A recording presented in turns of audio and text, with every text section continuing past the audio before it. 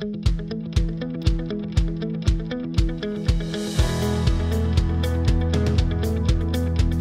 good afternoon, ladies and gentlemen. I've, uh, you know, in the last 30 minutes, I've learned two things. One is I feel intellectually very, very inferior right now. And the other is I've realized I was born 30 years too early.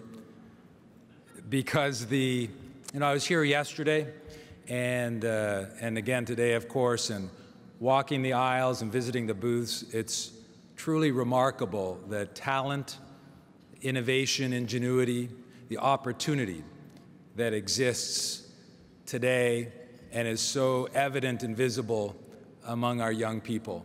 So it's a great privilege to be here. Mercifully, I'm not going to speak very long because my task is an important one to share in the announcement of the winners of the very first Young Entrepreneurs Make Your Pitch competition.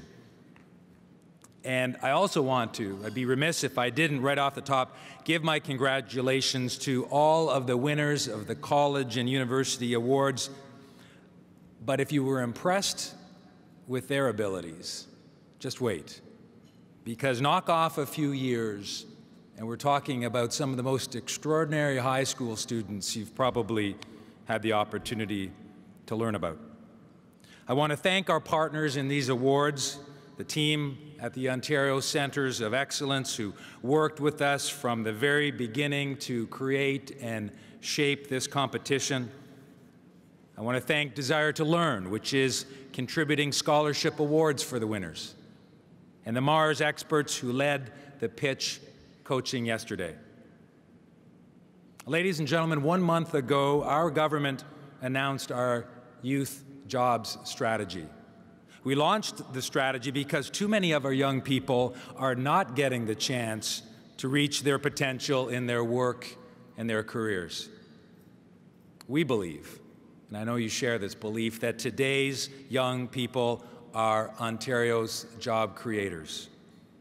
So our plan, our youth job strategy offers solutions in key areas, opportunities for employment, gaps in youth skills development, plus two areas that are especially important to us here at Discovery today, harnessing youth innovation and supporting youth entrepreneurship. The Young Entrepreneurs Make Your Pitch competition is all about innovation and entrepreneurship.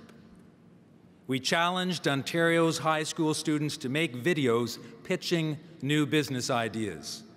And then we brought 18 of the finalists here, coached them, and put them in front of a panel of judges to make a convincing live pitch. We'll get to the winners in a minute, but first I want to say when you look at all of the videos we received, and I hope you will, they're online at makeyourpitch.ca, you can see the great creative and entrepreneurial energy of Ontario's young people. Here in Toronto, the finalists presented their ideas with both energy and enthusiasm. Their eagerness to succeed and contribute to a strong economy and a fair society is an inspiration to us all. Now we're getting to the point where we will announce the six winners. Along with educational funding from Desire2Learn, our winners will receive a reserved spot in Ontario's Summer Company program. Summer Company provides training, mentorship, and funding to help students bring their business ideas to life. But I want all the finalists to know you did great work. And the road doesn't end if you don't win today. I hope all the students who entered Young Entrepreneurs Make Your Pitch will apply to Summer Company. We have a booth for the program in the Young Entrepreneurs Zone here at Discovery, and I invite everyone to stop by for more information.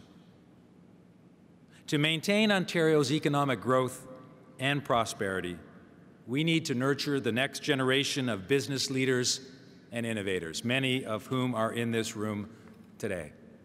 Programs like Summer Company and the Young Entrepreneurs Make Your Pitch competition do just that. And they will help us to build a vibrant economic future for Ontario. Thank you.